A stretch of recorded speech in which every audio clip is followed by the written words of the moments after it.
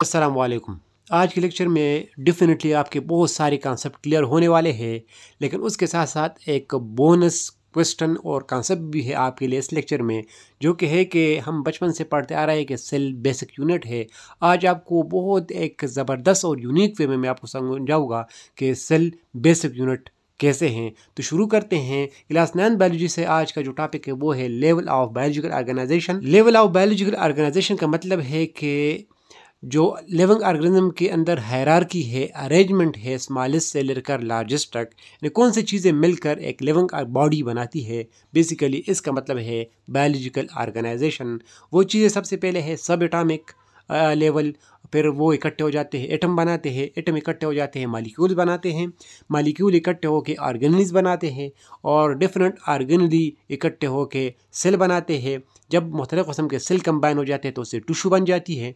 और combination of tissue को फिर हम ऑर्गन कहते हैं।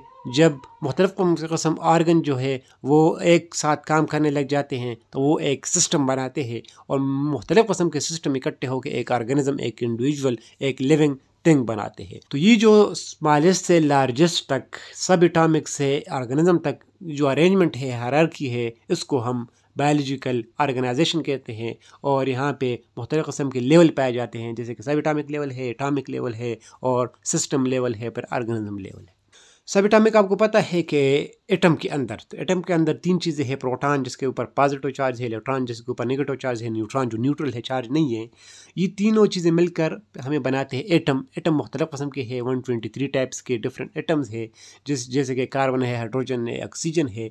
जब ये इकट्ठे हो जाते हैं तो इससे मालिक्यूल बन जाते हैं, जैसे कि ग्लूकोज आपने सुना होगा सी सिक्स एट ट्वेल्व और सिक्स इसमें आप देख सकते हैं कि छः कार्बन है, बारह हाइड्रोजन है और छः ऑक्सीजन है वही एटम की कम्बिनेशन है डिफरेंट स्ट्रक्चर uh, में डिफरेंट अरेंजमेंट है।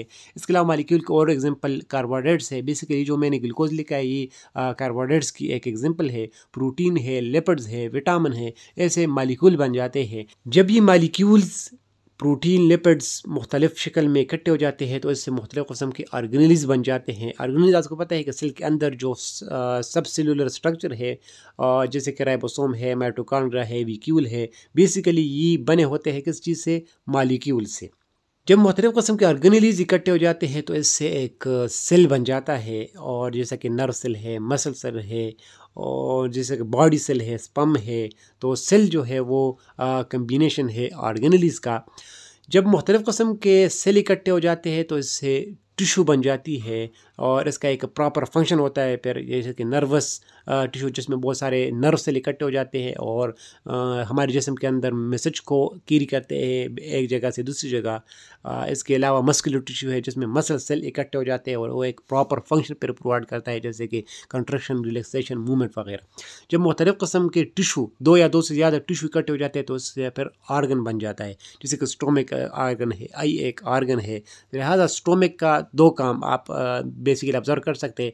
एक का काम है डाइजेशन करना यानी केमिकल सीक्रेट करना, उसके मदद से डाइजेस्ट खुराक को डाइजेस्ट करना, और एक स्टोमिक हरकत भी करते हैं हरकत से भी खुराक के ऊपर ज़ोर दबाव डालता है, वो भी डाइजेशन में हेल्प करता है। तो यहाँ पे केमिकल जो है वो ग्लैंडर टिशू है, एक टिशू वो हो गई, और स्टोमिक में जो इस तरह हरकत है तो वो मस्कुलर टिशू प्रोवाइड करते हैं। तो ये दो मुख्तलिफ़ के टिशू इकट्ठे होकर एक ऑर्गन हमारे लिए बना चुका है। और जब आर्गन इकट्ठे हो जाते हैं तो इससे मुख्तु कस्म के सिस्टम बन जाते हैं, जैसे इम्यून सिस्टम है डाइजेस्ट सिस्टम में डाइजेस्ट सिस्टम में आप देख सकते हैं कि माउथ है, एक आर्गन इसके अलावा इसोफेगस है स्टोमिक है स्मॉल इंटस्टान है लार्ज इंटस्टान है। ये मुख्तु कस्म आर्गन इकट्ठे होकर एक प्रॉपर फ़ंक्शन अदा करता है और एक सिस्टम बनाता है।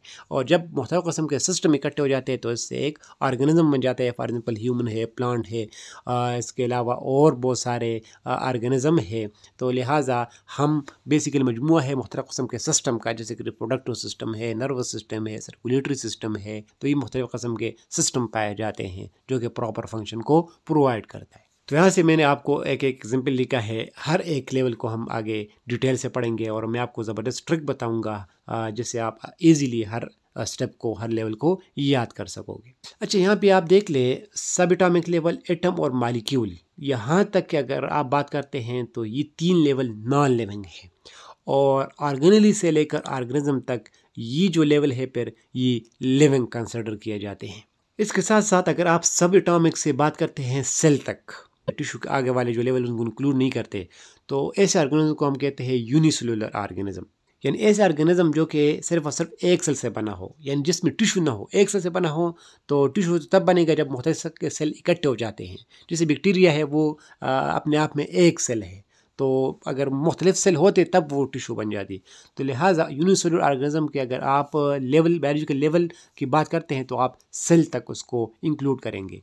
और अगर आखिरी ऑर्गेनिज्म तक बात करते हैं तो फिर आप इसको मल्टी सेलर ऑर्गेनिज्म कहते हैं। अगर हम ह्यूमन की बात कर ले, वो मल्टी सेलर है, उसमें ये सारे लेवल पाए जाते हैं, सिस्टम, ऑर्गन टिशू और अगर बैक्टीरिया की बात करते हैं तो वो सिर्फ़ और सिर्फ़ सेल तक लेवल उनके अंदर पाए जाते हैं। अच्छा हम पढ़ते जा रहे हैं कि cell is basic unit of living organism और यहाँ पे आप देख सकते हैं कि ऑर्गेनिज्म का जो बेसिक यूनिट है वो सब एटॉमिक पार्टिकल होने चाहिए। या आप कह सकते हैं कि एटम होना चाहिए क्योंकि वहाँ से आ, सब कुछ इराइज हुआ है। लेकिन हम कंसिडर करते हैं सेल को बेसिक यूनिट ये क्यों? ये आप आ, आज कॉन्सेप्ट क्लियर कर लें। आपको पता है, मैंने आपको बताया था कि आर्गेनिज्म के अंदर लिविंग आर्गेनिज्म के अंदर कुछ खसूसियात होने चाहिए, जैसे कि हरकत है रिस्पायरेशन है ग्रोथ है रिप्रोडक्शन है एक्सक्रीशन है।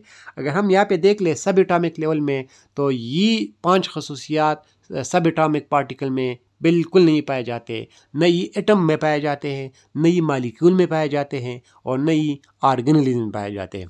लेकिन ये जो पाँच के पाँच खसूसियात है, ये सेल के अंदर पाए जाते हैं। तो यहाँ से हम अंदाज़ा लगा सकते हैं कि आर्गेनिज्म के अंदर जो खसूसियात है, वो अगर हम पीछे जाए तो वो डेफिनेटली कहाँ पे पाए जाते हैं? सेल के अंदर। तो लिहाजा सेल को हम बेसिक यूनिट कंसिडर करेंगे लिविंग ऑर्गेनिज्म का। उम्मीद है ये कॉन्सेप्ट आपको क्लियर हुआ होगा। कुछ और लेवल देखते हैं ऑर्गेनाइजेशन के अंदर, जैसे कि पॉपुलेशन पॉपुलेशन हम कहते हैं group of people with a common characteristic जब मुख्तलिफ़ कस्म के ऑर्गेनिज्म इकट्ठे हो जाते हैं, लेकिन उनके करेक्टरिस्टिक सेम हो उनको हम पॉपुलेशन कहते हैं। जैसे कि सारे ह्यूमन ये पॉपुलेशन है, क्योंकि इनके करेक्टरिस्टिक सेम है। डॉग एक अलग पॉपुलेशन है, क्योंकि सारे डॉग के करेक्टरिस्टिक एक जैसे हैं। ह्यूमन और डॉग को आप एक पॉपुलेशन में कंसिडर नहीं कर सकते, क्योंकि ह्यूमन की करेक्टरिस्टिक अलग है और डॉग की करेक्टरिस्टिक अलग है। तो लिहाजा ऑर्गेनिज्म के बाद जो लेवल आता है, उसको हम पॉपुलेशन कहते हैं और ये उन्हीं ऑर्गेनिज्म का कम्बिनेशन होगा, उससे नेक्स्ट लेवल है तो लिहाजा ऑर्गेनिज्म का ही कम्बिनेशन होगा, लेकिन करेक्टरिस्टिक सेम होने चाहिए। नेक्स्ट लेवल है कम्युनिटी जब मुख्तलिफ़ कस्म के पापुलेशन इकट्ठे हो जाते हैं तो उससे कम्युनिटी बन जाती है। जैसे कि आप फॉरेस्ट ले लें फॉरेस्ट में लैंड एक पॉपुलेशन है आ, इसके अलावा कैट भी रहती है तो वो एक अलग पॉपुलेशन है डॉग भी रहते हैं तो वो एक अलग पॉपुलेशन है इसके अलावा ज़िब्रा रहते हैं तो वो भी एक अलग पॉपुलेशन है। इस तरह मुख्तलिफ़ पॉपुलेशन इकट्ठे होकर वो एक कम्यूनिटी बनाती है। आप अगर अपने इर्द गिर्द देख लें तो डिफरेंट काऊ का एक पॉपुलेशन है आप ख़ुद अब ह्यूमन एक पॉपुलेशन है इसके अलावा माउस एक अलग पॉपुलेशन है तो ये बेसिकली आपके इर्द गिर्द कम्यूनिटी मौजूद नेक्स्ट लेवल है इकोसिस्टम जब लिविंग और नॉन लिविंग के अंदर जो इंटरेक्शन आ जाती है तो इस इंटरेक्शन को फिर हम इकोसिस्टम कहते हैं। जैसे कि प्लांट लिविंग है, लेकिन प्लांट सनलाइट के बगैर ज़िंदगी नहीं गुजार सकता। तो लिहाजा ये सनलाइट और प्लांट के अंदर एक रिलेशन आ जाती है। या आप इस तरह कह सकते हैं कि लिविंग और नॉन लिविंग के अंदर एक रिलेशन आ जाती है। तो इस रिलेशन को फिर हम इको कहते हैं। जैसे कि आप लिविंग है, लेकिन आप ऑक्सीजन के बगैर रह नहीं सकते वाटर के बगैर रह नहीं सकते, और वाटर और ऑक्सीजन नॉन लिविंग है, लिहाजा आप दोनों के अंदर एक रिश्ता बन जाता है। और इस रिश्ते इंटरेक्शन को हम इकोसिस्टम कहते हैं। और सबसे टॉप पे है बायोस्फीयर और इसका मतलब है कि ऐसा जगह जहाँ पे ज़िंदगी गुजारना मुमकिन हो, उस जगह को हम बायोस्फीयर कहते हैं, और इनके मज़ीद तीन कैटेगरी हम बना सकते हैं। या तीन जगह ऐसे हैं जहाँ पे लाइफ मुमकिन है, जैसे कि वाटर इसको हम हाइड्रोस्फीयर कहते हैं लैंड पर ज़िंदगी मुमकिन है, जैसे हम रह रहे हैं तो लिथोस्फीयर है, और हवा में ज़िंदगी बर्ड्स गुजार रही है तो वो एटमोसफियर है। तो ये था level of biological organisation subatomic से हम चले गए बायोस्फीयर और इंट्रोडक्शन लिया। मेन मेन पॉइंट मैंने आपको यहाँ पे हाईलाइट किए हैं। इन नेक्स्ट वीडियोज़ में हम सब एटॉमिक से लेकर ऑर्गेनिज्म तक एक अलग अलग वीडियो बना के उसको डिटेल से और एक इंटरेस्टिंग ट्रिक्स के साथ नमून के साथ उसको समझने की कोशिश करेंगे। अल्लाह हाफिज़।